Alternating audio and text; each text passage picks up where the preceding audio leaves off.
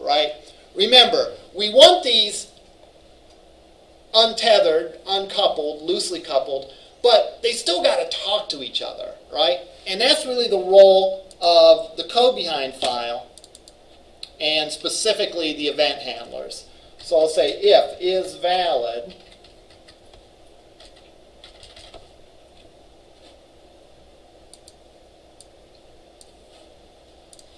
And this I'm going to get fancy and put everything in one line because I think we can handle it.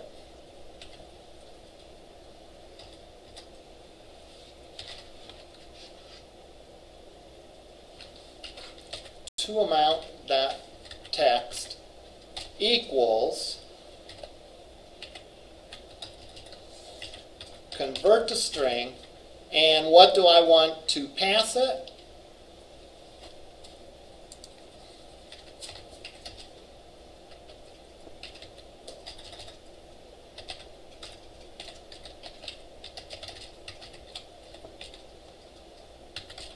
I want to grab the amount and say double amount equals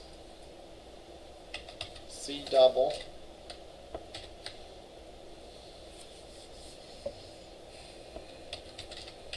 from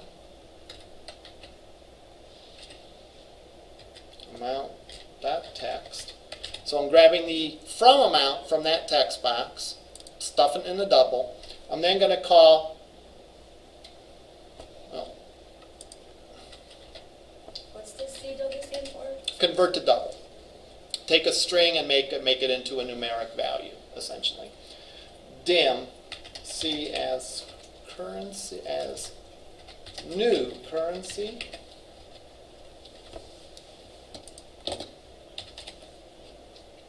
C string C dot convert, and I'll pass it double amount. I will pass it from cur dot selected value.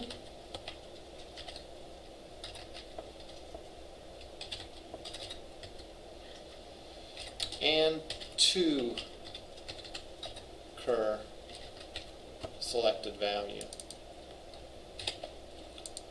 If you notice something, when I said C dot, all it showed me was convert, even though it has four functions. Why? Because convert's the only public one.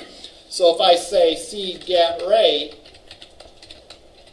USD and I try to call one of those other functions, I don't know about that function because I declared it as private. Which means it's sort of an intermediary part of a calculation. I don't want the outside world sort of to jump it in the middle. All right. Part of the black box. The outside world shouldn't know anything about the inner workings of it. You very carefully expose the things that you want to make public um, in your in your classes. So now let's run it and hope that it works.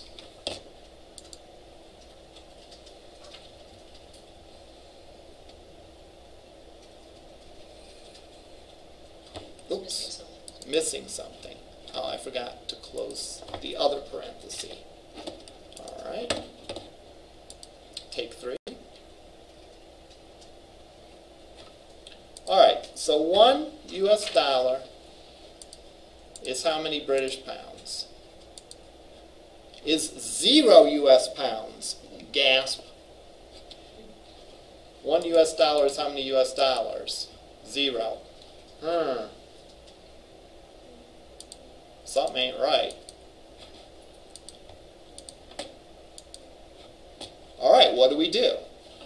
Well, we can start pulling our hair out or we can start screaming or, or whatever, but the best, most us to do is to run it through debug. All right? So, I'll go and I'll set a breakpoint here. And we can just zero in on the code and see exactly what's going on. So I'll put in one US dollar equals how many pounds. Click convert. All right. I've dimmed it. I hit F11. I'm now in that code. Double amount has a value of 1.0, so that worked. I'll hit F11 and I'll jump into this convert function.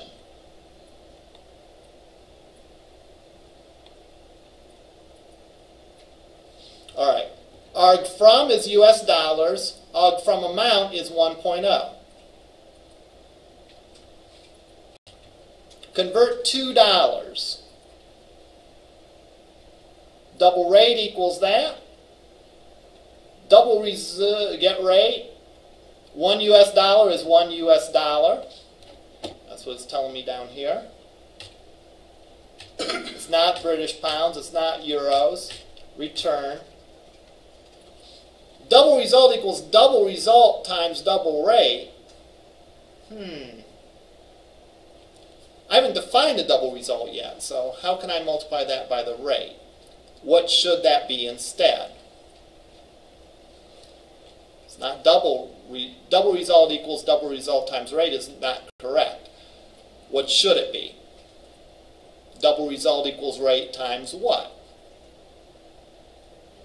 The argument amount, right. So ah, we have probably found the problem.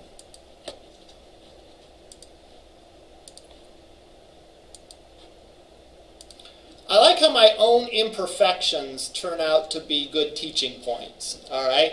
Because while I won't lie and say I intended that, all right, that was good because we could demonstrate how you can look inside the program to see exactly what it's doing. And as soon as I saw that line of code and saw the double result out of value of zero, well, zero times anything is equal to zero. This actually should be then arg amount, as should it down here.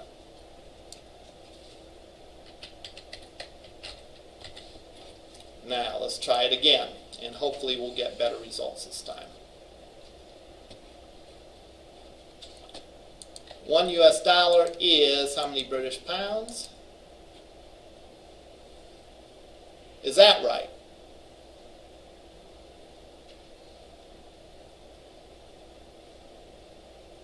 No, I did. I did. I did actually the calculation backwards, right? Because a pound is worth more than a dollar. A pound is worth a dollar fifty or so, and I'm saying one dollar is 1.5 pounds. So actually, actually, these two things should be reversed.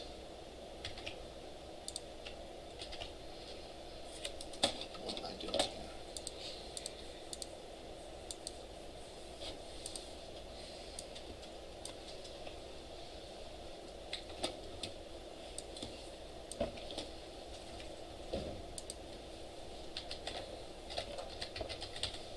All right. Now let's go and run this.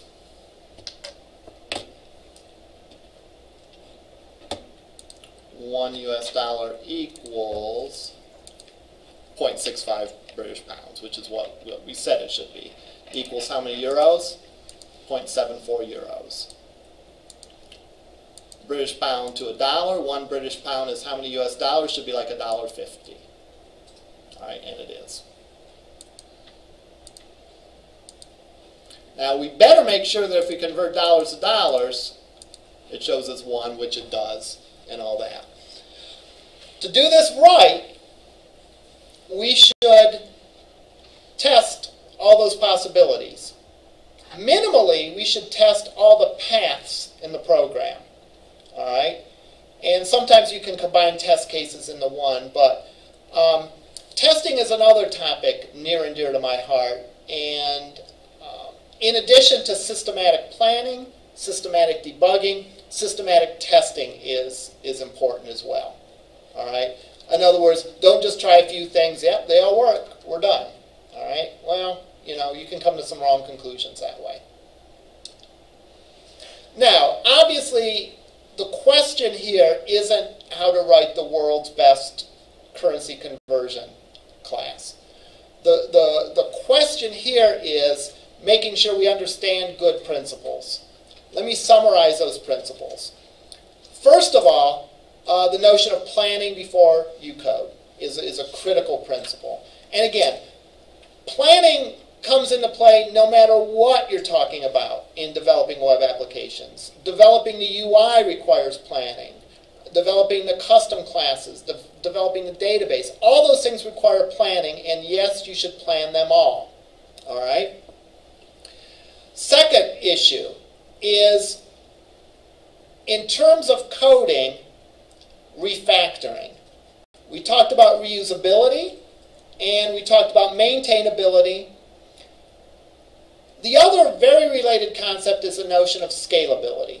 All right, I could have written that one function with six if statements, but as the number of currencies grow, grew, um, my if statements would get very quickly out of hand and making it a nightmare to maintain and add a new currency or if the, cur- uh, the currency rates changed or whatever. All right? By instead, by thinking about it and thinking it through and, and seeing what code is duplicated, again, you know, you have to work through it. You have to think through it to think through the best way to write any given piece of code. But the bottom line is, is when you go through that process, um, you want your results to be somewhat scalable. In other words, even this non-optimized version, if we were to add another currency, all I would have to do is change this one function and add an if to it. Add one if per currency. Now again, we could do better than that. We could pull the value from a database, would probably be the best solution, and we wouldn't have to change anything. Uh, we could write an array and loop through it. A lot of things we could do to make it even better still. But at the very least, none of this code would change if we added a new uh, currency. All right? And the communication from the um, UI to the, the class wouldn't change. If we were to add it to a database, then we'd even handle our dropdowns and make sure our dropdowns had all the values in as well. So again, have some sense of writing your code, not necessarily just using the brute force way, but think through and see if there's a way you can do it better to make it more maintainable, reusable, scalable. Any questions about this? I will give you a souvenir. Maybe you can write, remember to plan on it or something like that. And we do have an independent study student in this class. Next time I see you, remind me to give you a punch card. We used to we used to like to have fun punching holes so it like said our name or something. That was all. That was great fun. You could tell I was one of the popular kids in high school, right? Did you just mark over this, or did you actually have to punch it out? You actually had to punch it out. With a punch? With, well, well, with a key punch. A key punch is, is like as a typewriter keyboard, but instead of putting on paper, it punched holes physically in this. And you'd get, that's where you get the, the hanging chads from. All right, those of you uh, that remember, uh, we won't go into that, but those of you that remember that, that's what those chads are. The chads are the little punches in these cards. And you know, again, showing that we were wacky, you know, sometimes we'd use those as confetti and all that. It would make great confetti because you'd have millions of them because every character was at least one hole in a card. All right, we'll see you over in lab then.